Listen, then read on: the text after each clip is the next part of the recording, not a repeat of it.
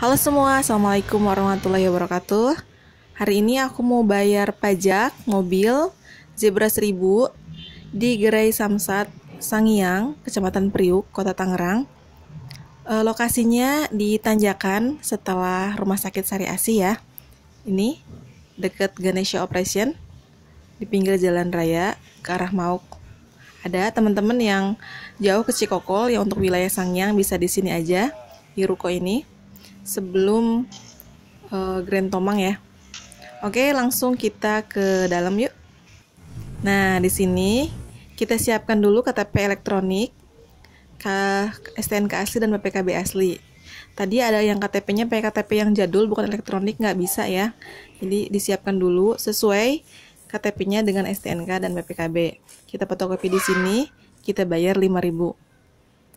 Oke. Nah, setelah ada fotokopi di sini, kita bawa ke bagian pendaftaran. PPKB-nya kita pegang, terus yang di dalam map kita taruh di bagian pendaftaran. Habis itu, kita duduk, disediakan tempat duduk. Nah, dan tunggu dipanggil oleh kasir.